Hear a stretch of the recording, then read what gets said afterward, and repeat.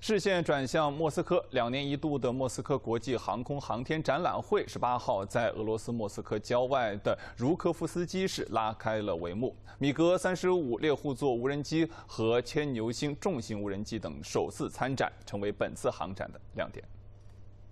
本届航展吸引了来自二十六个国家和地区的七百九十多家航天航空企业参展。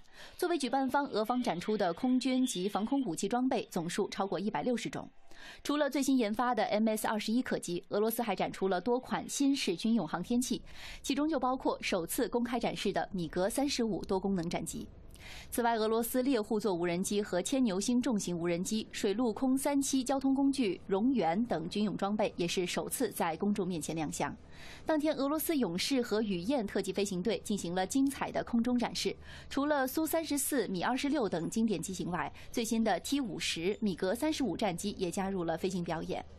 俄罗斯总统普京在开幕式上致辞说：“莫斯科航展已成为发布业界最新研发成果和先进设计创意的着名国际航展。它为海内外研发专家、工商界人士分析业内需求、研判发展趋势提供了重要平台。” За последние годы аэрокосмическому комплексу была оказана весомая государственная поддержка.